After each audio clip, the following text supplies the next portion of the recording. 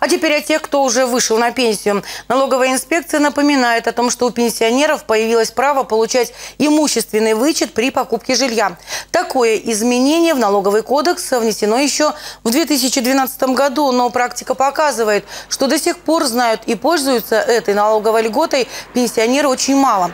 Между тем, если человек купил квартиру и вышел на заслуженный отдых, например, в этом году, а ранее он имел доход, который облагался налогом по ставке 13%, то есть обычную зарплату, то сейчас самое время обратиться в инспекцию за имущественным вычетом. И в данном случае, так как он не работает, он имеет право э, вернуться на три предшествующих года э, сделки по приобретению жилья. То есть в 2013 году квартира куплена, а за три предшествующих года, которые он работал, 12, 11 и 10, он имеет право заявить имущественный вычет по приобретению жилья. Здесь есть один существенный момент.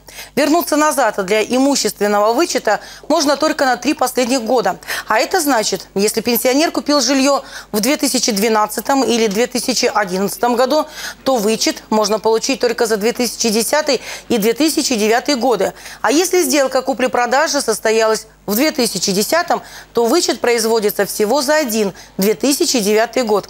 Но если пенсионер снова начал работать, то для имущественного вычета, как и все трудящиеся населения, он вправе заявиться уже в последующие 14 и 15 годы.